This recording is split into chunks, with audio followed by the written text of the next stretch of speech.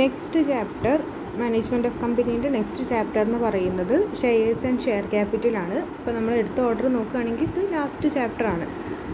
ഇത് third chapter ആണ്. ടെക്സ്റ്റിൽ നമുക്ക് തേർഡ് ചാപ്റ്റർ ആയിട്ടാണ് ഷെയർസ് ആൻഡ് ഷെയർ ക്യാപിറ്റൽ എന്നുള്ള ചാപ്റ്റർ ഉണ്ടാവുക. അതും കൂടിയാണ് നമുക്ക് ഇനി എടുക്കാനുള്ളത്. അപ്പോൾ നമ്മളൊരു കമ്പനി ഫോം ചെയ്യുന്നത് റിലേറ്റഡ് ആയിട്ടുള്ള സെക്കൻഡ് ചാപ്റ്റർ നമ്മൾ പഠിച്ചത് ഫോമേഷൻ ഓഫ് കമ്പനിയാണ് ദെൻ ലാസ്റ്റ് ചാപ്റ്ററിൽ വൈൻഡിങ് അപ്പ് ആണ്. അതിന് തൊട്ട് മുന്നേ ആയിട്ട് മാനേജ്മെന്റ് ഓഫ് കമ്പനി എന്നുള്ളൊരു പാർട്ടും നമ്മൾ ഡിസ്കസ് ചെയ്തതാണ്. അപ്പോൾ ഇതിന് ഇടയ്ക്ക് വരുന്ന ഒരു പാർട്ടാണ് ഷെയേഴ്സ് ആൻഡ് ഷെയർ ക്യാപിറ്റൽ അല്ലെങ്കിൽ ഒരു കമ്പനി റിലേറ്റഡ് ആയിട്ട് വരുന്ന ഡിഫറെന്റ് ടെർമിനോളജീസ് അല്ലെങ്കിൽ ഡിഫറെന്റ് പ്രൊസീജിയേഴ്സ് ഒക്കെയാണ് നമുക്ക് ഈ ഒരു ചാപ്റ്ററിൽ പഠിക്കാനുള്ളത്. അപ്പോൾ അതിൽ നിങ്ങൾക്ക് അതിന്റെ ഒരു ഫസ്റ്റ് പാർട്ട് എന്ന് പറയുന്നത് നിങ്ങൾ ഓൾറെഡി പ്ലസ് വൺ പ്ലസ് ടുവിലൊക്കെ ആയിട്ട് പഠിച്ചിട്ടുണ്ടായിരുന്ന ഷെയേഴ്സ് അതിന്റെ ഡിഫറെന്റ് ടൈപ്പ് ഓഫ് ഷെയേഴ്സ് അതായത് ഷെയർസിൽ തന്നെ ഇക്വിറ്റി ഷെയേഴ്സ് ഉണ്ട് പ്രിഫറൻസ് ഷെയേഴ്സ് ഉണ്ട്. ദെൻ അതുപോലെ മറ്റൊരു സെക്യൂരിറ്റിയാണ് ഡിവെഞ്ചർ ഈ കാര്യങ്ങളൊക്കെയാണ് നമുക്ക് ആദ്യത്തെ ഒരു പാർട്ടിൽ പഠിക്കാനുള്ളത്. പിന്നെ raising of or raising of capital എങ്ങനെയൊക്കെയാണ് നമുക്ക് ഷെയർസ് ഇഷ്യൂ ചെയ്യാൻ റേസ് ചെയ്യാൻ പറ്റുക എന്നുള്ളത്. അത് പബ്ലിക് ഇഷ്യൂ ആയിട്ട് പബ്ലിക് കമ്പനീസ് ആണെങ്കിൽ പബ്ലിക് ഇഷ്യൂ ആയിട്ട് അല്ലെങ്കിൽ പ്രൈവറ്റ് പ്ലേസ്മെന്റ് ആയിട്ട് വേണമെന്നുണ്ടെങ്കിലും എന്ത് ചെയ്യാം? ക്യാപിറ്റൽ റേസ് ചെയ്യാവുന്നതാണ്. അവിടെ വരുന്ന ഒരു മെക്കാനിസാണ് ബുക്ക് ബിൽഡിംഗ് അതിന്റെ പ്രൈസ് ഡിസ്കവറി മെക്കാനിസാണ് ബുക്ക് ബിൽഡിംഗ് അത്രയും പാർട്ട് നമ്മൾ ഈ ഒരു സ്ലൈഡിൽ ഇൻക്ലൂഡ് ചെയ്യുന്നില്ല. അത് ഓൾറെഡി നിങ്ങൾക്ക് അറിയാവുന്ന കാര്യങ്ങളാണ്. എന്നാൽ അത് ഇമ്പോർട്ടന്റ് ആണ്. എംപ്ലോയി സ്റ്റോക്ക് ഓപ്ഷൻ പ്ലാൻ ഉണ്ട്. ബുക്ക് ബിൽഡിംഗ് മെക്കാനിസത്തിലൂടെ നമ്മൾ എങ്ങനെയാണ് പ്രൈസ് ഡിസ്കവർ ചെയ്യുന്നത് ആൻഡ് പബ്ലിക് ഇഷ്യൂ റിലേറ്റഡ് ആയിട്ടുള്ള പ്രൊസീജിയേഴ്സും പ്രൈവറ്റ് പ്ലേസ്മെന്റ് എന്നാണ്. ഇത്രയും കാര്യങ്ങൾ നിങ്ങൾ നോക്കി വെക്കുക. അതിന് ശേഷം ഒരു റേസിംഗ് ഓഫ് ക്യാപിറ്റലിന്റെ അടുത്ത ഭാഗമായിട്ടുള്ള allotment of securities or allotment of shares മുതലാണ് നമുക്കിവിടെ ഡിസ്കസ് ചെയ്യുന്നത്. അപ്പോൾ അലോട്ട്മെന്റ് എന്ന് പറഞ്ഞാൽ എന്തായാലും നമുക്കറിയാം ഒരുപാട് നമ്മളുടെ കമ്പനീന്റെ ഷെയേഴ്സ് അല്ലെങ്കിൽ സെക്യൂരിറ്റീസ് ഏതാണെന്നുണ്ടെങ്കിലും നമ്മൾ എന്ത് ചെയ്യും? പബ്ലിക്കിനത് ഓഫർ ചെയ്യുന്നുണ്ട്. അവർക്ക് അത് പർച്ചേസ് ചെയ്യാനുള്ളൊരു ഓഫർ കൊടുക്കുന്നുണ്ട്. അങ്ങനെ നമ്മൾ ഇഷ്യൂ ചെയ്യുന്ന പബ്ലിക് ഇഷ്യൂ അല്ലെങ്കിൽ പ്രൈവറ്റ് പ്ലേസ്മെന്റ് വഴി ഓഫർ ചെയ്യുന്ന സെക്യൂരിറ്റീസ് പർച്ചേസ് ചെയ്യാം അല്ലെങ്കിൽ ചെയ്യാതിരിക്കാം. പബ്ലിക് ഒന്നെങ്കിൽ അത് അക്സെപ്റ്റ് ചെയ്യാം അല്ലെങ്കിൽ ആക്സെപ്റ്റ് ചെയ്യാതിരിക്കാം. അങ്ങനെ അവർക്ക് ആ ഒരു ഓഫർ അക്സെപ്റ്റ് ചെയ്യണമെന്നുണ്ടെങ്കിൽ അവരെന്ത് ചെയ്യും അത് അക്സെപ്റ്റ് ചെയ്ത് അപ്ലിക്കേഷൻ മണി നമുക്ക് പേയ്മെന്റ് നടത്തുന്നുണ്ട്. നമ്മൾ എത്രയാണോ ഈ ഒരു ഷെയറിന്റെ നോമിനൽ വാല്യൂ ഫിക്സ് ചെയ്തിട്ടുള്ളത് അത് അവർ പേയ്മെന്റ് നടത്തുന്നുണ്ട്. സോ അപ്ലിക്കേഷൻ എന്ന് പറയുന്നത് ലീഗലി ആൻഡ് ഓഫറാണ് നമ്മൾ കൊടുക്കുന്ന ഒരു ഓഫറാണ് ആർക്ക്? Prospective share holders prospective share holder എന്ന് പറഞ്ഞു കഴിഞ്ഞാൽ ആരാണോ നമ്മുടെ കമ്പനിയിൽ ഷെയറിൽ ഇൻവെസ്റ്റ് ചെയ്യാൻ പോകുന്നത് അവരെയാണ് പ്രോസ്പെക്റ്റീവ് ഷെയർ ഹോൾഡേഴ്സ് എന്ന് പറയാം. നമ്മൾ ജനറലി പബ്ലിക് എന്ന് പറയാം. പബ്ലിക്കിന് കൊടുക്കുന്ന ഒരു ഓഫറാണ് അപ്ലിക്കേഷൻ എന്ന് പറയുന്നത്.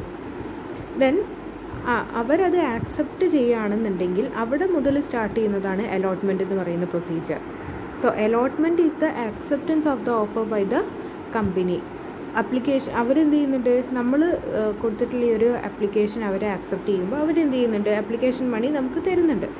ആപ്ലിക്കേഷൻ മണി നമുക്ക് പേയ്മെന്റ് നടത്തുന്ന സമയത്ത് അവർ എന്ത് ചെയ്യുന്നുണ്ട്? കമ്പനിയുടെ ഷെയർസ് പർച്ചേസ് ചെയ്യാം എന്ന് പറഞ്ഞ് തിരിച്ചൊരു ഓഫർ നമുക്ക് തരുന്നുണ്ട്. ദെൻ അത് നമ്മൾ ആക്സെപ്റ്റ് ചെയ്യുന്നതാണ് അലോട്ട്മെന്റ് എന്ന് പറയുന്നത്. നമ്മൾ പറയാൻ ഇപ്പോൾ പ്രോസ്പെക്റ്റീവ് ഷെയർ ഹോൾഡർ നമ്മളോട് ഈ ഒരു കമ്പനീന്റെ ഷെയർ പർച്ചേസ് ചെയ്യാമെന്ന് ആക്സെപ്റ്റ് ചെയ്യുകയാണെങ്കിൽ തിരിച്ച് നമുക്കും അവരൊരു ഓഫർ തരുന്നുണ്ട്. അവർ പർച്ചേസ് ചെയ്യാം എന്നുള്ളൊരു ഓഫർ നമുക്ക് തരുന്നുണ്ട്. ഈ ഓഫർ നമ്മൾ അക്സെപ്റ്റ് ചെയ്യുന്നതിനാണ് അലോട്ട്മെന്റ് എന്ന് പറയുന്നത്. ഒരു എ എന്ന് പറയുന്ന ഷെയർ ഹോൾഡർ നമ്മളുടെ കമ്പനിയുടെ ഷെയർസ് പർച്ചേസ് ചെയ്യാമെന്നുള്ളൊരു ഓഫർ വയ്ക്കുമ്പം നമ്മളത് ആക്സെപ്റ്റ് ചെയ്യുകയാണെങ്കിൽ ആ ആക്സെപ്റ്റൻസ് എങ്ങനെ നമ്മളത് റിവീൽ ചെയ്യുന്നത്? നമ്മളുടെ ഷെയർസ് അവർക്ക് ഹാൻഡ് ഓവർ ചെയ്യുന്നുണ്ട്. അപ്പോൾ അവർക്ക് അലോട്ട് ചെയ്യുന്ന ആ ഒരു പ്രോസസ്സിനെയാണ് അലോട്ട്മെന്റ് എന്ന് പറയുന്നത്. Allotment is the acceptance of the offer by the company allotment is a binding contract between the company and the prospective shareholder okay അപ്പോൾ നോർമലി അലോട്ട്മെന്റ് എന്ന് പറയുന്നത് അതാണ്. അവർ എത്ര സെക്യൂരിറ്റി ആണോ നമ്മളുടെ പർച്ചേസ് ചെയ്യാമെന്ന് പറഞ്ഞിട്ടുള്ളത് അത് നമുക്ക് അവർക്ക് പ്രൊവൈഡ് ചെയ്യുന്നതിനാണ് അലോട്ട്മെന്റ് എന്ന് പറയുന്നത്. ഈ അങ്ങനത്തെ ഒരു കാര്യം നടക്കുന്ന സമയത്ത് അലോട്ട്മെന്റ് നടക്കുമ്പോഴും ഏത് കാര്യങ്ങൾ നടക്കുമ്പോഴും അവിടെ സർട്ടൻ റൂൾസ് ആൻഡ് റെഗുലേഷൻസ് നമ്മൾ ഫോളോ ചെയ്യേണ്ടതുണ്ട്. അപ്പോൾ as per companies act two thousand thirteen പ്രകാരം നമ്മൾ അലോട്ട്മെന്റ് നടത്തുന്ന സമയത്ത് എന്തൊക്കെ കാര്യങ്ങൾ അല്ലെങ്കിൽ എന്തൊക്കെ ആണ് അവിടെ ഫോളോ ചെയ്യേണ്ടത് എന്നുള്ളതാണ് നെക്സ്റ്റ് നോക്കേണ്ടത്. ജനറലി നമുക്കറിയാവുന്ന കാര്യങ്ങൾ തന്നെയാണ്. ഇതിന് നമ്മൾ രണ്ട് കാറ്റഗറൈസ് ചെയ്യുന്നുണ്ട്. ഒന്ന് ജനറൽ പ്രിൻസിപ്പിൾസ് ആണ്. ദെൻ രണ്ടാമത്തത് അലോട്ട്മെന്റ് റിലേറ്റഡ് ആയിട്ടുള്ള സ്റ്റാറ്റ്യൂട്ടറി റെസ്ട്രിക്ഷൻസ് ആണ്. അത് ഫോളോ ചെയ്താൽ അല്ലെങ്കിൽ അത് കംപ്ലീറ്റ് ഓർ ഫുൾഫിൽ ചെയ്താൽ മാത്രമേ നമുക്ക് അലോട്ട്മെന്റ് നടത്താൻ പറ്റുള്ളൂ. അങ്ങനെ രണ്ട് കാറ്റഗറൈസ് ചെയ്തിട്ടാണ് നമ്മൾ ഇവിടെ പോയിന്റ് ഔട്ട് ചെയ്യുന്നത്. അപ്പോൾ ജനറൽ പ്രിൻസിപ്പിൾസിൽ പറയുന്ന ഒന്നാമത്തെ കാര്യം ഒന്നാമത്തെ കാര്യം പ്രിൻസിപ്പളിന്റെ സ്പെല്ലിംഗ് ഒന്ന് ഇവിടെ പ്രിൻസിപ്പിളാക്കുക പി എൽ ഇ എസ് അപ്പോൾ ജനറൽ പ്രിൻസിപ്പിൾസിൽ വരുന്ന ഒന്നാമത്തെ കാര്യം allotted by a proper authority ഈ കമ്പനിയുടെ നമ്മളുടെ കമ്പനിയുടെ പ്രോപ്പർ അതോറിറ്റി എന്ന് പറയുന്നത് എപ്പോഴും നമ്മളുടെ ബോർഡ് ഓഫ് ഡയറക്ടേഴ്സ് ആണ്. അല്ലെങ്കിൽ ആരാണോ നമ്മൾ ബോർഡ് ഓഫ് ഡയറക്ടേഴ്സ് ഈ ഒരു ഷെയർ അലോട്ട്മെന്റ് റിലേറ്റഡ് ആയിട്ട് അവിടെ ഓതറൈസ് ചെയ്തിരിക്കുന്ന കമ്മിറ്റി ആ കമ്മിറ്റി ഈ പറഞ്ഞിരിക്കുന്ന രണ്ട് ഗ്രൂപ്പ് ഓഫ് പീപ്പിളിൽ ഏതെങ്കിലും ഒരു അതോറിറ്റി ആയിരിക്കണം. ഈ ഒരു അലോട്ട്മെന്റ് റിലേറ്റഡ് ആയിട്ടുള്ള എല്ലാ പ്രൊസീജിയേഴ്സും കംപ്ലീറ്റ് ചെയ്യേണ്ടത്. അല്ലെങ്കിൽ അവർ ആയിരിക്കണം ഇതൊക്കെ ഫോളോ ചെയ്യേണ്ടത്. അപ്പോൾ അവിടെ ഒരു പ്രോപ്പർ അതോറിറ്റി ഉണ്ടായിരിക്കണം. Proper authority may be board of directors or the committee authorized by the board okay അപ്പോൾ ഒരു പ്രോപ്പർ അതോറിറ്റി ഉണ്ടായിരിക്കണം. രണ്ടാമത്തത് allotment against written application only നമ്മളൊരു വാക്കാൽ പറഞ്ഞിരിക്കുന്ന ഒരു നമുക്ക് കിട്ടിയിരിക്കുന്ന ഒരു അപ്ലിക്കേഷൻ ഒരാൾ നമ്മളോട് ഓറലി പറഞ്ഞിട്ടുണ്ട് ഇത്ര ഷെയർ നമ്പർ ഓഫ് ഷെയർസ് ഞങ്ങൾക്ക് ഞാൻ പർച്ചേസ് ചെയ്യാം എന്നുള്ളൊരു ഓഫർ അവിടെ വെച്ചിട്ടുണ്ടെങ്കിൽ അതിന് നമ്മളൊരു വാലിഡ് ആപ്ലിക്കേഷനായിട്ട് കൺസിഡർ ചെയ്യുന്നില്ല. Application should be in written format അവിടെ ഒരു നമുക്ക് ഓതറൈസ്ഡ് ആയിട്ടുള്ളൊരു പ്രൂഫ് അവിടെ ഉണ്ടായിരിക്കണം. അപ്പോൾ റിട്ടേൺ ആയിട്ടുള്ള ആപ്ലിക്കേഷൻസിന്റെ മുകളിൽ മാത്രമേ ഉള്ളൂ നമുക്ക് അലോട്ട്മെന്റ് നടത്താൻ പറ്റുക. Then third one allotment must be made within reasonable time ഇനി നമ്മളൊരു ഒരു ഒരു അപ്ലിക്കേഷൻ നമ്മൾ റിസീവ് ചെയ്തു. അത് കഴിഞ്ഞിട്ട് എത്രയും പീരീഡ് കഴിഞ്ഞതിന് ശേഷമല്ല നമ്മൾ അലോട്ട്മെന്റ് നടത്തേണ്ടത്. നമ്മളുടെ കോൺട്രാക്റ്റിൽ പറഞ്ഞിരിക്കുന്ന പ്രകാരം എത്രയാണോ നമ്മളുടെ റീസണബിൾ പീരീഡ് എന്നാണ് പറഞ്ഞത്. ആ റീസണബിൾ പീരീഡ് എന്ന് പറയുന്നത് കമ്പനി ടു കമ്പനി ചേഞ്ചിങ് ആയിരിക്കാം. അത് നമ്മളുടെ എഗ്രിമെന്റിൽ പറഞ്ഞിരിക്കുന്നത് ആ ഒരു പീരീഡ് എത്രയാണോ ആ ടൈമിനുള്ളിൽ നമ്മൾ എന്ത് ചെയ്യണം? നമ്മളുടെ allotment procedures complete ചെയ്തിട്ടുണ്ടായിരിക്കണം. Then next one it shall be communicated to applicant ഇനി നമ്മൾ ഇപ്പോൾ ഒരു ഷെയർ ഹോൾഡർ ഞങ്ങൾ ഒരു പത്ത് ഷെയർ പെർച്ചേസ് ചെയ്യാം അല്ലെങ്കിൽ പത്ത് ഷെയറിൽ ഇൻവെസ്റ്റ് ചെയ്യാമെന്ന് നമ്മളുടെ ഇൻഫോം ചെയ്തിട്ടുണ്ട്. അവർ അപ്ലിക്കേഷൻ മണി നമുക്ക് തന്നിട്ടുണ്ട്. അവർക്ക് ഈ പത്ത് ഷെയറും കിട്ടാൻ കിട്ടാതിരിക്കാം. അത് നമ്മളുടെ ഓരോ സർക്കംസ്റ്റൻസ് അനുസരിച്ചിട്ടാണ്. അണ്ടർ സബ്സ്ക്രിപ്ഷൻ ആണോ ഓവർ സബ്സ്ക്രിപ്ഷൻ ആണോ ഇതിന്റെയൊക്കെ ബേസിലാണ് അവർ അപ്ലൈ ചെയ്തിരിക്കുന്ന കംപ്ലീറ്റും ചിലപ്പോൾ അവർക്ക് കിട്ടാം. അല്ലെങ്കിൽ അതിന് പ്രൊപ്പോർഷനേറ്റ്ലി പകുതിയായിരിക്കും കിട്ടുന്നത്. അതൊക്കെ ഓരോ സർക്കംസ്റ്റൻസ് അനുസരിച്ചിട്ടാണ് ഉണ്ടാവുക. അലോട്ട്മെന്റ് പ്രോറാ പ്രോറാറ്റ അലോട്ട്മെന്റ് ഒക്കെ ബേസിലാണ് ഉണ്ടാവുക.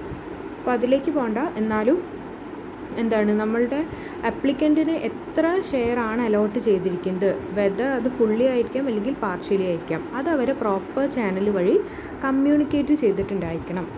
അപ്പോൾ അടുത്തത് കമ്മ്യൂണിക്കേഷനാണ് ആർക്ക് അപ്ലിക്കേഷൻ അപ്ലിക്കന്റിന് നമ്മൾ ഈ ഒരു അലോട്ട്മെന്റിന്റെ റിലേറ്റഡ് ആയിട്ടുള്ള കാര്യങ്ങൾ അവരെ കംപ്ലീറ്റ് ആയിട്ടും ഇൻഫോം ചെയ്തിട്ടുണ്ടായിരിക്കും നോട്ടീസ് നമ്മൾ അവർക്ക് provide ചെയ്തിട്ടുണ്ടായിരിക്കണം. Then next one it must be absolute and unconditional എന്ന് പറഞ്ഞു കഴിഞ്ഞാൽ എന്താ ഈ ഒരു നമ്മളെ അലോട്ട്മെന്റ് അൺകണ്ടീഷണൽ ആയിരിക്കണം. അവരെന്താണ് ആപ്ലിക്കേഷനിൽ പറഞ്ഞിട്ടുള്ളത്? ആപ്ലിക്കേഷനിൽ നമ്മൾ എത്രയാണ് ആപ്ലിക്കേഷൻ മണി സ്വീകരിച്ചിട്ടുള്ളത്? അത് സ്വീകരിച്ചിട്ട് നമ്മളുടെ ഷെയേഴ്സ് അവർക്ക് ഹാൻഡ് ഓവർ ചെയ്യുക എന്നുള്ള പ്രൊസീജിയർ മാത്രമാണ് അലോട്ട്മെന്റ് അതിന്റെ കൂടെ നമ്മൾ എക്സ്ട്രാ കണ്ടീഷൻസോ കാര്യങ്ങളോ ഒന്നും ആഡ് ചെയ്യാൻ പാടില്ല. ഇത്രയാണ് ജനറൽ പ്രിൻസിപ്പിൾസ് ആയിട്ട് നമുക്ക് പഠിക്കാനുള്ളത്. ഇനി സ്റ്റാറ്റ്യൂട്ടറി റെസ്ട്രിക്ഷൻസ് ഉണ്ട്. സ്റ്റാറ്റ്യൂട്ടറി റെസ്ട്രിക്ഷൻ എന്ന് പറഞ്ഞാൽ അത് പ്രിൻസിപ്പിൾസ് അല്ല. ഇത്രയും കാര്യങ്ങൾ ഈ പറയുന്ന കാര്യങ്ങൾ ഫുൾഫിൽ ചെയ്താൽ മാത്രമേ ഉള്ളൂ. അതിനൊരു അലോട്ട്മെന്റ് ആയിട്ട് നമുക്ക് ട്രീറ്റ് ചെയ്യാൻ പറ്റുക. ഓക്കെ അപ്പോൾ അത് ലീഗലി ഇത്രയും കാര്യങ്ങൾ നമ്മൾ എന്തായാലും ഫോളോ ചെയ്തിട്ടുണ്ടായിരിക്കണം. മറ്റേത് പ്രിൻസിപ്പിൾസ് ആണ്. ഇത് സ്റ്റാറ്റ്യൂട്ടറി റെസ്ട്രിക്ഷൻസ് ആണ്. ഇത് രണ്ടും എക്കമ്പനി ചെയ്ത് പോയാൽ മാത്രമേ ഉള്ളൂ. ഒരു അലോട്ട്മെന്റ് കംപ്ലീറ്റ് ആവുന്നത്. അപ്പോൾ ഈ സ്റ്റാറ്റ്യൂട്ടറി നമ്മൾ ചെയ്യേണ്ട ലീഗലി നമ്മൾ കമ്പൾസറി ആയിട്ട് ചെയ്യേണ്ട കാര്യങ്ങൾ എന്തൊക്കെയാണ്? Registration of prospectus with registrar എന്ത് ചെയ്തിരിക്കണം? നമ്മളുടെ ഈ ഒരു പ്രോസ്പെക്ടസ് കമ്പനി പബ്ലിക് ഇഷ്യൂ ചെയ്യുന്ന സമയത്ത് എന്തായാലും ഒരു പ്രോസ്പെക്ടസ് ഇഷ്യൂ ചെയ്തിരിക്കണം എന്ന് നമ്മൾ കണ്ടീഷനായിട്ട് പഠിച്ചിട്ടുണ്ട്. പ്രോസ്പെക്ടസ് എന്താണെന്നൊക്കെ അപ്പോൾ അങ്ങനെ ഒരു പ്രോസ്പെക്റ്റസ് നമ്മൾ എന്ത് ചെയ്തിട്ടുണ്ടായിരിക്കണം. എല്ലാ ഡയറക്ടേഴ്സും സൈൻ ചെയ്തുകൊണ്ടുള്ള അതായത് ഈ ഒരു അലോട്ട്മെന്റ് സൈൻ ചെയ്തുകൊണ്ടുള്ള പ്രോസ്പെക്റ്റസ് നമ്മൾ എന്ത് ചെയ്തിട്ടുണ്ടായിരിക്കണം? രജിസ്ട്രാർക്ക് രജിസ്ട്രേഷൻ പർപ്പസിന് വേണ്ടിയിട്ട് കൊടുത്തിട്ടുണ്ടായിരിക്കണം. Okay then next one requires minimum subscription രണ്ടാമത്തെ ഒരു കണ്ടീഷൻ എന്ന് പറയുന്നത് നമുക്ക് മിനിമം സബ്സ്ക്രിപ്ഷൻ കിട്ടിക്കഴിഞ്ഞാൽ മാത്രമേ ഉള്ളൂ അലോട്ട്മെന്റ് കംപ്ലീറ്റ് ചെയ്യാൻ പറ്റും. അല്ലെങ്കിൽ അലോട്ട്മെന്റ് ഓഫ് ഷെയർസിലേക്ക് കടക്കാൻ പറ്റുക. അതായത് മിനിമം ആപ്ലിക്കേഷൻ മണി നമുക്ക് കിട്ടിക്കഴിഞ്ഞാൽ മാത്രമേ ഉള്ളൂ. സബ്സ്ക്രി ഓർ സബ്സ്ക്രിപ്ഷൻ ആയിക്കഴിഞ്ഞാൽ മാത്രമേ നമുക്ക് അലോട്ട്മെന്റ് നടത്താൻ പറ്റുള്ളൂ. Okay then application money shall be deposited in a scheduled bank until the minimum subscription.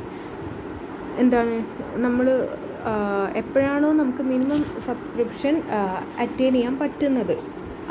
ആ ഒരു ടൈം വരെ നമ്മൾ വെയിറ്റ് ചെയ്യണം. ആ മിനിമം സബ്സ്ക്രിപ്ഷൻ കിട്ടിയിട്ടില്ല എന്നുണ്ടെങ്കിൽ നമുക്ക് അലോട്ട്മെന്റ് നടത്താൻ പറ്റില്ല അപ്പോൾ ആ ഒരു സബ്സ്ക്രിപ്ഷൻ കിട്ടുന്നത് വരെ നമ്മൾ ഈ കിട്ടിക്കൊണ്ടിരിക്കുന്ന അതായത് ഡേ ബൈ ഒരു ദിവസമല്ല നമ്മളെല്ലാ ആപ്ലിക്കേഷൻ മണി സ്വീകരിക്കുന്നത്. ഒരു ടൈം പീരീഡ് വെച്ചിട്ടുണ്ടാവും. അപ്പോൾ ആ ടൈം പീരീഡിൽ നമുക്ക് ഓരോ ദിവസം കിട്ടുന്ന ആപ്ലിക്കേഷൻ മണി നമ്മൾ എന്ത് ചെയ്തിട്ടുണ്ടായിരിക്കണം? It shall be deposited a scheduled bank നമ്മൾ ഷെഡ്യൂൾഡ് ബാങ്കിന്റെ അക്കൗണ്ടിലാണ് ഈ അപ്ലിക്കേഷൻ മണി ഓരോ ദിവസം കിട്ടുന്ന അപ്ലിക്കേഷൻ മണി കീപ്പ് ചെയ്യേണ്ടത്. ഏതുവരെ നമുക്ക് മിനിമം സബ്സ്ക്രിപ്ഷൻ ആകുന്നത് വരെ നമ്മൾ ഈ ബാങ്കിൽ ഡെപ്പോസിറ്റ് ചെയ്തുകൊണ്ടിരിക്കണം മിനിമം സബ്സ്ക്രിപ്ഷൻ ആയി കഴിഞ്ഞാൽ നമുക്ക് എന്ത് ചെയ്യാൻ പറ്റും? ആ എമൗണ്ട് എടുത്തിട്ട് നമുക്ക് അലോട്ട്മെന്റ് ഓഫ് ഷെയർസ് എന്നുള്ള പ്രൊസീജിയറിലേക്ക് കടക്കാൻ പറ്റും. ഈ ഒരു അലോട്ട്മെന്റ് നമ്മൾ സാധാരണഗതിയിൽ മിനിമം സബ്സ്ക്രിപ്ഷൻ എന്ന് പറയുന്നത് മിനിമം സബ്സ്ക്രിപ്ഷൻ എന്ന് പറയുന്നത് എന്താ? നമ്മളുടെ റേസ് ചെയ്യുന്ന ക്യാപിറ്റലിൽ നമ്മൾ ഒരു എമൗണ്ട് സെറ്റ് ചെയ്ത് വെച്ചിട്ടുണ്ടായിരിക്കും. ഇപ്പോൾ ഒരു പത്ത് ലക്ഷമാണ് നമ്മളുടെ ഓതറൈസ്ഡ് ക്യാപിറ്റൽ എന്നുണ്ടെങ്കിൽ അതിലൊരു ഏഴ് ലക്ഷമാണ് നമ്മൾ മിനിമം സബ്സ്ക്രിപ്ഷനായിട്ട് പറഞ്ഞിട്ടുള്ളത്. അതിനർത്ഥം എന്താ? ഏഴ് ലക്ഷം നമുക്ക് പബ്ലിക്കിന്റെ അടുത്ത് നിന്ന് റേസ് ചെയ്യാൻ പറ്റിയാൽ മാത്രമേ ഉള്ളൂ നമുക്ക് ഫർദർ പ്രൊസീജിയേഴ്സിലേക്ക് കടക്കാൻ പറ്റുക. അപ്പോൾ ഈ ഏഴ് ലക്ഷം കിട്ടുന്നത് വരെ നമ്മൾ ഈ എമൗണ്ട് ഒരു ഷെഡ്യൂൾഡ് ബാങ്കിൽ കീപ്പ് ചെയ്യണം. ഏഴ് ലക്ഷം ആയി കഴിഞ്ഞാൽ നമുക്ക് ആ എമൗണ്ട് എന്ത് പർപ്പസിനാണ് യൂസ് ചെയ്യേണ്ടത്? ആ പർപ്പസിന് യൂസ് ചെയ്യാവുന്നതാണ്. ആൻഡ് ബാക്കി അലോട്ട്മെന്റും കാര്യങ്ങളൊക്കെ ചെയ്യാവുന്നതാണ്. ഇനി മിനിമം സബ്സ്ക്രിപ്ഷൻ കിട്ടിക്കഴിഞ്ഞാൽ നമുക്ക് ഈ ഫണ്ട് യൂസ് ചെയ്ത് ഫണ്ട് പല റീസൺസിന് യൂസ് ചെയ്യാൻ പറ്റും. ചിലപ്പോൾ പ്രിലിമിനറി എക്സ്പെൻസുകൾ മീറ്റ് ചെയ്യുന്നതിനായിരിക്കും ഓർ വർക്കിംഗ് ക്യാപിറ്റൽ റിക്വയർമെന്റ്സിനായിരിക്കാം അല്ലെങ്കിൽ നമ്മൾ ഏതെങ്കിലും തരത്തിൽ ബോറോയിങ്സോ കാര്യങ്ങളോ ഒക്കെ ഉണ്ട് അത് റീപേയ്മെന്റ് ആണെന്നുണ്ടെങ്കിൽ അതിനായിരിക്കാം. അല്ലെങ്കിൽ നമുക്ക് കമ്പനിയിലേക്ക് എന്തെങ്കിലും ടൈപ്പ് ഓഫ് പ്രോപ്പർട്ടീസ് പർച്ചേസ് ചെയ്യാനുണ്ടെങ്കിൽ അതിന്റെ പർച്ചേസിനായിരിക്കാം അത് ഓരോ ബോർഡ് ഓഫ് ഡയറക്ടേഴ്സ് ഡിസൈഡ് ചെയ്യുന്നതാണ്. ഈ മിനിമം സബ്സ്ക്രിപ്ഷൻ യൂസ് ചെയ്തിട്ട് നമുക്ക് ആദ്യം എന്തൊക്കെ കാര്യങ്ങളാണ് ചെയ്യേണ്ടത് ബോർഡ് ഓഫ് ഡയറക്ടേഴ്സാണ് ഡിസൈഡ് ചെയ്യുന്നത്. അതിനനുസരിച്ചിട്ടാണ് ഈ മിനിമം സബ്സ്ക്രിപ്ഷൻ അവർ സെറ്റ് ചെയ്ത് വെക്കുന്നത്. ഓക്കെ അപ്പോൾ ആ മിനിമം സബ്സ്ക്രിപ്ഷൻ കിട്ടണം. കിട്ടുന്നത് വരെ നമ്മൾ ഈ അപ്ലിക്കേഷൻ മണി ഇവിടെ കീപ്പ് ചെയ്യണം. ഷെഡ്യൂൾഡ് ബാങ്കിന്റെ അക്കൗണ്ടിലാണ് കീപ്പ് ചെയ്യേണ്ടത്.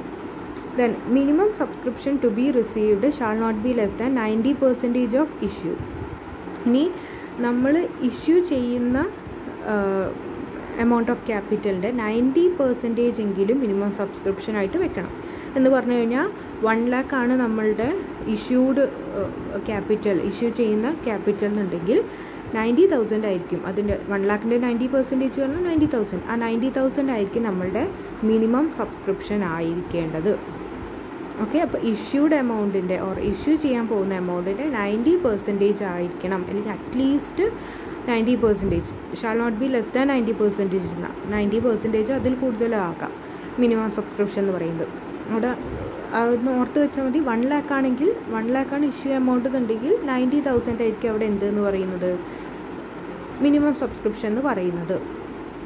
Okay then uh, minimum subscription is not uh, accomplished the company shall refund the whole amount within 60 days of the closure of issue. ഇനി നമുക്ക് ആ ഒരു മിനിമം സബ്സ്ക്രിപ്ഷൻ കിട്ടിയിട്ടില്ല. നമ്മൾ ഓരോ ദിവസം കിട്ടുന്ന ഫണ്ട് ഈ അക്കൗണ്ടിലേക്ക് മാറ്റിയിട്ടുണ്ട്. പക്ഷേ നമ്മൾ ഇഷ്യൂ ക്ലോ ഇഷ്യൂ ഡേറ്റ് കഴിഞ്ഞിട്ടും എന്ത് ചെയ്താണ് നമുക്ക് കിട്ടിയിട്ടില്ല.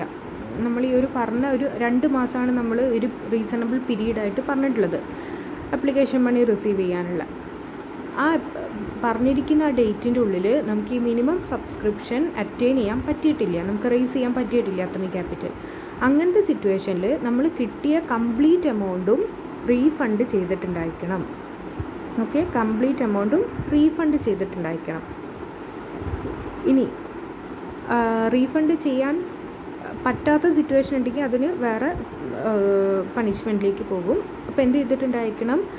ഇൻ കേസ് നമുക്ക് പറഞ്ഞിരിക്കുന്ന സമയത്തിനുള്ളിൽ മിനിമം സബ്സ്ക്രിപ്ഷൻ അറ്റൈൻ ചെയ്യാൻ പറ്റിയിട്ടില്ല എന്നുണ്ടെങ്കിൽ കിട്ടിയ എന്റയർ എമൗണ്ടും നമ്മൾ ഈ ഒരു ഇഷ്യൂ എപ്പോഴാണോ ഡേറ്റ് തീരുന്നത് അന്ന് മുതൽ സിക്സ്റ്റി ഡേയ്സിനുള്ളിൽ ടു മന്തിനുള്ളിൽ കംപ്ലീറ്റ് എമൗണ്ടും റീഫണ്ട് ചെയ്തിട്ടുണ്ടായിരിക്കണം. ഓക്കെ അതായത് ഇപ്പോൾ നമ്മൾ ജാനുവരി ടു മാർച്ച് വരെയാണ് നമ്മളുടെ അപ്ലിക്കേഷൻ മണി റിസീവ് ചെയ്യുന്ന പീരീഡ് പറഞ്ഞിട്ടുള്ളത്. ഓക്കെ മാർച്ച് ലാസ്റ്റ് ആയിട്ടും നമുക്ക് അതായത് ആ പറഞ്ഞ പീരീഡ് കഴിഞ്ഞിട്ടും നമുക്ക് മിനിമം സബ്സ്ക്രിപ്ഷൻ കിട്ടിയിട്ടില്ല. അങ്ങനെയാണെന്നുണ്ടെങ്കിൽ ആ ക്ലോസ് ചെയ്യുന്നത് മാർച്ച് തേർട്ടി ഫസ്റ്റ് ആണെങ്കിൽ മാർച്ച് തേർട്ടി ഫസ്റ്റ് മുതൽ സിക്സ്റ്റി ഡേയ്സിനുള്ളിൽ ഇതുവരെ കിട്ടിയ എല്ലാ അമൗണ്ടും നമ്മൾ എന്ത് ചെയ്തിരിക്കണം? ആർക്കൊക്കെയാണോ നമ്മൾ റിസീവ് ചെയ്തിട്ടുള്ളത് അവർക്ക് റീഫണ്ട് ചെയ്ത് കൊടുക്കണം. ഇനി അങ്ങനെ ചെയ്തിട്ടില്ല. ചെയ്യാത്ത സിറ്റുവേഷൻ ആണെന്നുണ്ടെങ്കിൽ അവിടെ നമുക്ക് പണിഷ്മെന്റും കാര്യങ്ങളും വരും. എന്റെ എമൗണ്ട് നമുക്ക് പേയ്മെന്റ് നടത്താൻ പറ്റിയിട്ടില്ല എന്നുണ്ടെങ്കിൽ നമുക്ക് ഫിഫ്റ്റീൻ പെർസെന്റേജ് ഇൻട്രസ്റ്റും കാര്യങ്ങളൊക്കെ വരും. അത് നോക്കണ്ട. തൽക്കാലം ഇതുവരെയുള്ള നോക്കുക. സിക്സ്റ്റി ഡേയ്സിനുള്ളിൽ നമ്മൾ റീഫണ്ട് ചെയ്തിട്ടുണ്ടായിരിക്കണം. ദ നെക്സ്റ്റ് ഒന്ന് നോക്കേണ്ടത് minimum application money shall not be less than five percentage of nominal value ഈ മിനിമം അപ്ലിക്കേഷൻ മണി എന്ന് പറയുന്നത് ഇപ്പോൾ ഒരു ഷെയറിന്റെ വാല്യൂ പത്ത് രൂപയാണെങ്കിൽ മിനിമം അഞ്ച് രൂപയെങ്കിലും ആയിരിക്കണം അതിന്റെ മിനിമം അപ്ലിക്കേഷൻ മണി എന്ന് പറയുന്നത്. പത്തും അഞ്ചും വെച്ചിട്ടല്ല നമ്മൾ വലിയ എമൗണ്ട് വെച്ചിട്ടാണ് അപ്ലിക്കേഷൻ മണി പറയുക.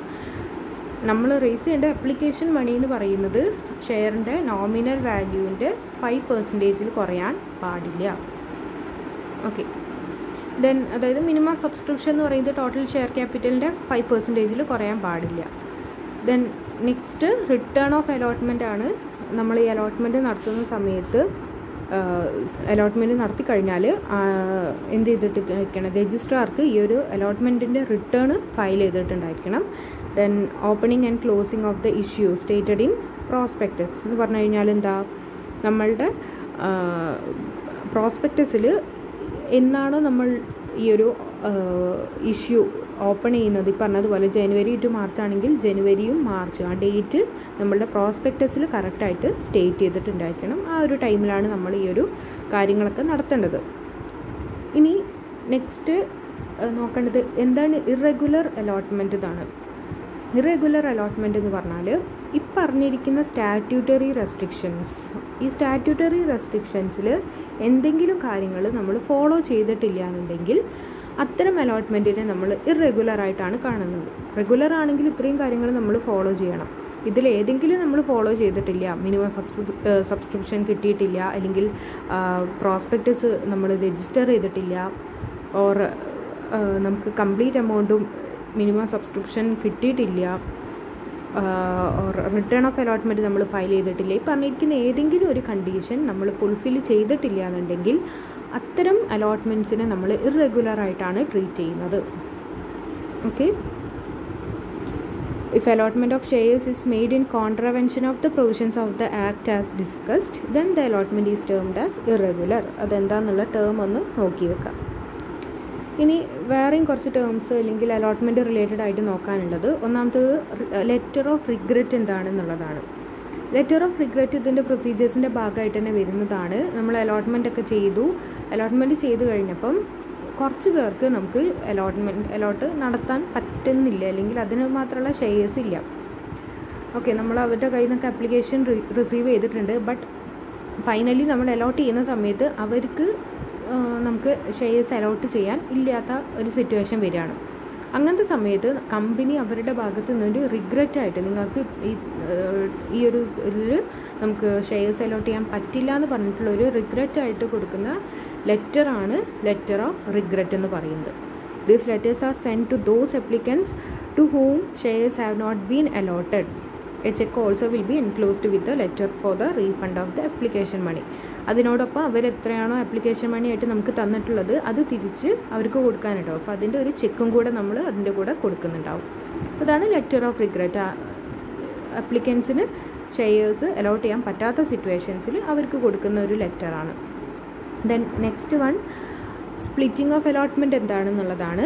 അതെന്താ? When a large block of shares have been allotted to a single person the company at its request split or divide the original allotment letter to a number of small allotment letters splitting എന്ന് പറഞ്ഞാൽ എന്താ? ഒരാൾക്ക് നമ്മളൊരു വലിയ amount shares issue ചെയ്യുകയാണ്. ഒരു single person ആണ്. ഒരു ഒരു ഒരു ഫോർ എക്സാമ്പിൾ തൗസൻഡ് ഷെയർസൊക്കെ ഒരാൾക്കാണ് നമ്മൾ ഇഷ്യൂ ചെയ്യുന്നത്.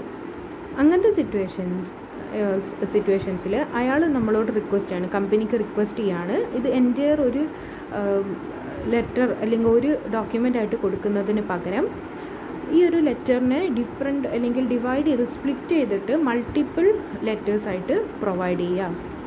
അലോട്ട്മെന്റ് ലെറ്റർ ഒറ്റ ഇതിൽ കൊടുക്കാതെ മൾട്ടിപ്പിൾ ലെറ്റേഴ്സായിട്ട് പ്രൊവൈഡ് ചെയ്യുക എന്നുള്ളൊരു റിക്വസ്റ്റ് അവരുടെ ഭാഗത്തുനിന്ന് വരികയാണെങ്കിൽ കമ്പനിക്ക് എന്ത് ചെയ്യാം? അങ്ങനെ ഒരു അലോട്ട്മെന്റ് ലെറ്ററിനെ സ്പ്ലിറ്റ് ചെയ്ത് സ്പ്ലിറ്റ് ചെയ്ത്. ഇപ്പോൾ തൗസൻഡിനെ തൗസൻഡ് ഷെയർസിന്റെ ഒരു അലോട്ട്മെന്റ് ലെറ്ററിന് അവർക്ക് വേണമെന്നുണ്ടെങ്കിൽ ടു ഫിഫ്റ്റി ഷെയർസ് വീതമുള്ള നാല് അലോട്ട്മെന്റ് ലെറ്റേഴ്സായിട്ട് സ്പ്ലിറ്റ് ചെയ്തിട്ട് കൊടുക്കാവുന്നതാണ്. ഓക്കെ അതിന് സ്പ്ലിറ്റിംഗ് ഓഫ് അലോട്ട്മെന്റ് എന്ന് പറയുന്നു.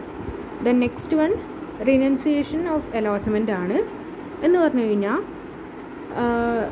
ചില സമയത്ത് അലോട്ടീസ് അതായത് അലോട്ടി എന്ന് പറഞ്ഞു കഴിഞ്ഞാൽ ആർക്കാണോ നമ്മൾ അലോട്ട് ചെയ്തിരിക്കുന്നത്? അവർ അവർക്ക് എന്ത് ചെയ്യാം? അവർക്ക് ഇപ്പോൾ കയ്യിലുള്ള ഷെയർസ് അവർക്ക് അലോട്ട് ചെയ്ത് കിട്ടിയിരിക്കുന്ന ഷെയർസ് മറ്റൊരാൾക്ക് ഹാൻഡ് ഓവർ ചെയ്യാം. അല്ലെങ്കിൽ ട്രാൻസ്ഫർ ചെയ്യാവുന്നതാണ്. എന്റയർലി പാർട്ട്ലി ഓർ ഹോളി അവർക്ക് ട്രാൻസ്ഫർ ചെയ്യാവുന്നതാണ്.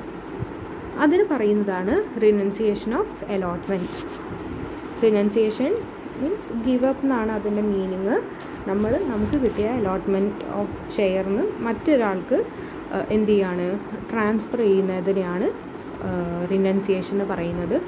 ആർട്ടിക്കിൾസിൽ അങ്ങനെ ഒരു പ്രൊവിഷൻ ഉണ്ടെങ്കിൽ മാത്രമേ ഉള്ളൂ ഇതിന് പോസിബിൾ ആയിട്ടുള്ളത്. അല്ലാത്ത പക്ഷം നമുക്ക് എന്ത് ചെയ്യാൻ പറ്റില്ല. നമുക്ക് കിട്ടിയ ഷെയർസ് അങ്ങനെ ട്രാൻസ്ഫർ ചെയ്യാൻ പറ്റുന്നതല്ല. ദെൻ മറ്റ് രണ്ട് ടേംസ് അണ്ടർ റൈറ്റിങ്ങും ബ്രോക്കറേജും എന്താണെന്നുള്ളതാണ് ഇതും ഇത് റിലേറ്റഡ് ആയിട്ട് പഠിക്കേണ്ട കോൺസെപ്റ്റ് തന്നെയാണ്. അലോട്ട്മെന്റ് അല്ലെങ്കിൽ ഒരു നമ്മളുടെ പ്രൈമറി സ്റ്റെപ്പ് റിലേറ്റഡ് ആയിട്ട് പഠിക്കേണ്ടതാണ്. അണ്ടർ റൈറ്റർ എന്ന് പറഞ്ഞു കഴിഞ്ഞാൽ ആരാണ്? രണ്ട് പേഴ്സൺ ആണ്. അണ്ടർ റൈറ്ററും ബ്രോക്കറേജും രണ്ടും രണ്ട് ഇന്റർമീഡിയറ്റ് അല്ലെങ്കിൽ മിഡിൽമാൻ ആണ്. ഈ ഒരു സബ്സ്ക്രിപ്ഷൻ ടൈമിൽ വരുന്നതാണ് പോയിന്റ് ചെയ്യുന്നതാണ്.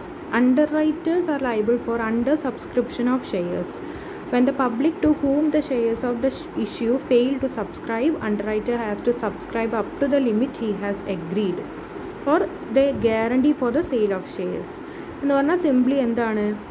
നമ്മൾ കമ്പനി ഇഷ്യൂ ചെയ്തിരിക്കുന്ന പബ്ലിക്കിന് ഇഷ്യൂ ചെയ്തിരിക്കുന്ന ഷെയർസ് പബ്ലിക്ക് ആക്സെപ്റ്റ് ചെയ്യാത്ത പക്ഷം അല്ലെങ്കിൽ പബ്ലിക് അത് കംപ്ലീറ്റ്ലി സബ്സ്ക്രൈബ് ചെയ്യാത്ത പക്ഷം കമ്പനിയുടെ ഷെയർസ് പർച്ചേസ് ചെയ്യാമെന്ന് ഗ്യാരണ്ടി ചെയ്യുന്ന പേഴ്സണെയാണ് ഓർ ഗ്രൂപ്പ് ഓഫ് പേഴ്സണെയാണ് അണ്ടർ റൈറ്റേഴ്സ് എന്ന് പറയുന്നത്. ഓക്കെ ഇപ്പോൾ ഫോർ എക്സാമ്പിൾ നമ്മൾ തൗസൻഡ് ഷെയർസാണ് ഓഫർ ചെയ്തിരിക്കുന്നത് പബ്ലിക്കിന് ഓഫർ ചെയ്തിരിക്കുന്നത് തൗസൻഡ് ഷെയർസാണ് അതിൽ എഴുന്നൂറ് ഷെയർ പബ്ലിക് ആക്സെപ്റ്റ് ചെയ്താൽ മാത്രമേ നമുക്ക് ഫർദർ പ്രൊസീജിയറിലേക്ക് പോകാൻ പറ്റുള്ളൂ. മിനിമം സബ്സ്ക്രിപ് സബ്സ്ക്രിപ്ഷൻ എന്ന് പറയുന്നത് സെവൻ ഹൺഡ്രഡ് ഷെയർസാണ് പക്ഷേ ഇതുവരെ പബ്ലിക് സബ്സ്ക്രൈബ് ചെയ്തിരിക്കുന്നത് ഫൈവ് ഹൺഡ്രഡ് ഷെയർസാണ് അപ്പോൾ ഒരു ഇരുന്നൂറ് ഷെയറും കൂടെ നമുക്ക് പബ്ലിക് ആക്സെപ്റ്റ് ചെയ്താലേ നമുക്ക് ബാക്കി പ്രൊസീജിയറിലേക്ക് പോകാൻ പറ്റുള്ളൂ. അപ്പോൾ ഈ സിറ്റുവേഷനിൽ നമ്മൾ അണ്ടർ സബ്സ്ക്രി അണ്ടർ സബ്സ്ക്രിപ്ഷൻ എന്നാണ് പറയുന്നത്. അപ്പോൾ ഈ അണ്ടർ സബ്സ്ക്രിപ്ഷന്റെ കേസിൽ ബാക്കിയുള്ള ഈ ഇരുന്നൂറ് ഷെയർസ് പർച്ചേസ് ചെയ്യാമെന്ന് ഗ്യാരണ്ടി ചെയ്യുന്ന ഗ്രൂപ്പ് ഓഫ് പീപ്പിളിനെയാണ് അണ്ടർ റൈറ്റർ എന്ന് നമ്മൾ പറയുന്നത്. അങ്ങനെ ഇവർ ഗ്യാരണ്ടി നിൽക്കുന്നുണ്ടെങ്കിലും അവർക്ക് കമ്മീഷൻ അതിന്റെ ഭാഗമായിട്ട് കമ്മീഷൻ കമ്പനി കൊടുക്കുന്നുണ്ട്. ഇനി എപ്പോഴാണോ കമ്പനീന്റെ ഇപ്പോൾ സെയിൽസ് അല്ലെങ്കിൽ അവരുടെ മാർക്കറ്റ് വാല്യൂ ഒക്കെ കൂടുന്നതിനനുസരിച്ചിട്ട് കമ്പനീന്റെ ഷെയർസിന് കൂടുതൽ ഡിമാൻഡ് വരുമ്പം ഇവർ ഈ പർച്ചേസ് ചെയ്തിരിക്കുന്ന ഇരുന്നൂറ് ഷെയർസ് ഇവർക്ക് പബ്ലിക്കിന് വിറ്റിട്ട് എന്ത് ചെയ്യാവുന്നതാണ്? ക്യാപിറ്റൽ റേസ് ചെയ്യാവുന്നതാണ്. അപ്പം അണ്ടർ റൈറ്റർ എന്ന് പറഞ്ഞാൽ അണ്ടർ സബ്സ്ക്രിപ്ഷന്റെ കേസിൽ അതായത് പബ്ലിക് ഷെയർസ് കംപ്ലീറ്റ് ആയിട്ട് സബ്സ്ക്രൈബ് ചെയ്യാത്ത സിറ്റുവേഷൻസിൽ കമ്പനീന്റെ സെയിൽ ഓഫ് ഷെയർസ് ഗ്യാരണ്ടി ചെയ്യുന്ന പാർട്ടീസിനെയാണ് നമ്മൾ അണ്ടർ റൈറ്റേഴ്സ് എന്ന് പറയുന്നത്.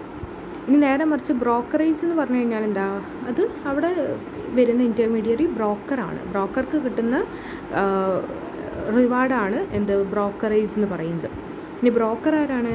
Broker is a person connecting a purchaser and a seller in the process of subscribing shares to the public company appoint brokers okay പബ്ലിക്കിന് ഷെയർസ് സബ്സ്ക്രൈബ് ചെയ്യാൻ അല്ലെങ്കിൽ public subscription നടക്കുന്ന സമയത്ത് കമ്പനി അപ്പോയിന്റ് ചെയ്യുന്ന ഒരു person ആണ് ഒരു ഇന്റർമീഡിയറിയാണ് ബ്രോക്കർ എന്ന് പറയുന്നത്.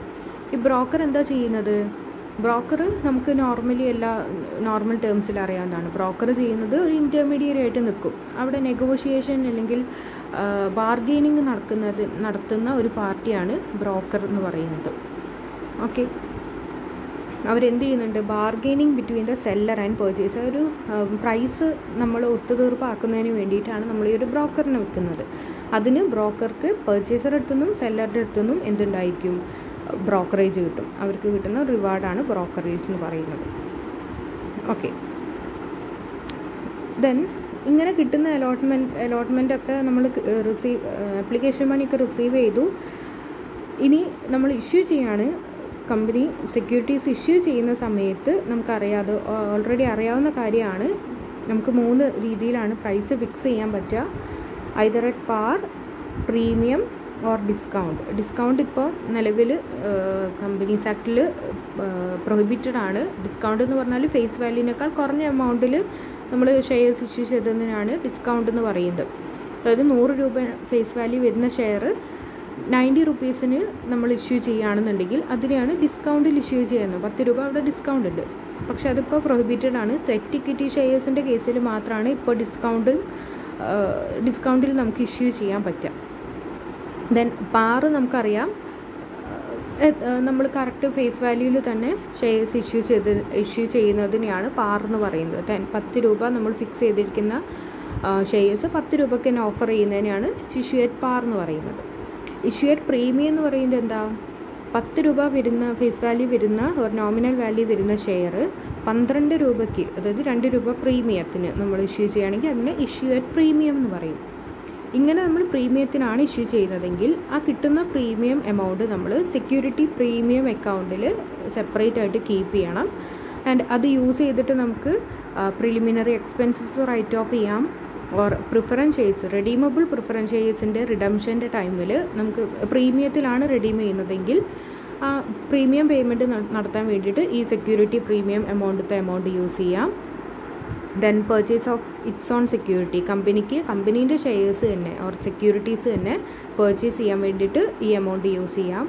Or to issue fully paid bonus shares bonus shares issue ചെയ്യാനും ഈ ഫണ്ട് യൂസ് ചെയ്യാവുന്നതാണ്. ആ നാല് പർപ്പസ് എന്തൊക്കെയാണെന്നുള്ളത് അവിടെ നോക്കി വെച്ചാൽ മതി.